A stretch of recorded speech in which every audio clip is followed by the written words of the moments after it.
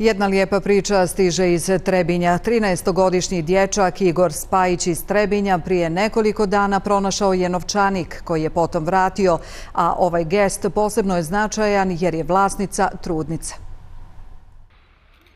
Igor Spajić sa svojim ocem Gojkom prije par dana bio je u kupovini, a kada su se vratili, Igor je spazio na parkingu pored automobila novčanik.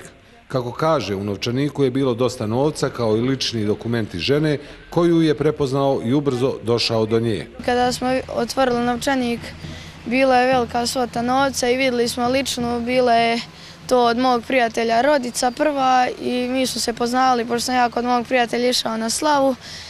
Poznavali smo se i onda smo zvali mog prijatelja i moj prijatelj je zvao njegovu rodicu i e, moj prijatelj je dao broj od mog tate njoj i ona nas je zvala, sastali smo se i vratili je novčanik. Igor kaže da nijednog trenutka nije razmišljao hoće li vrat novčanik kada ga je posebno obradovalo kada je saznao da je on vlasništvo trudnice koja ga je nagradila za poštenje. Nisam htio to da uzimam pošto to nije moje i ne bi trebalo to niko da radi. Ona je bila trudna i nekoliko dana posle dobila je djete. Igoru ovo nije prvi put da pronalazi novčanika. Slično iskustvo imao je prije par godina kada je sa drugom također uspio doći do vlasnika. Prije tri godine sam sa svojim prijateljem našao još jedan novčanik i vratili ga vlasniku. Igor kaže da ga zovu drugari, čestitaju mu na njegovom gestu, ali on u tome ne vidi ništa posebno i vjeruje da bi tako svako postupio.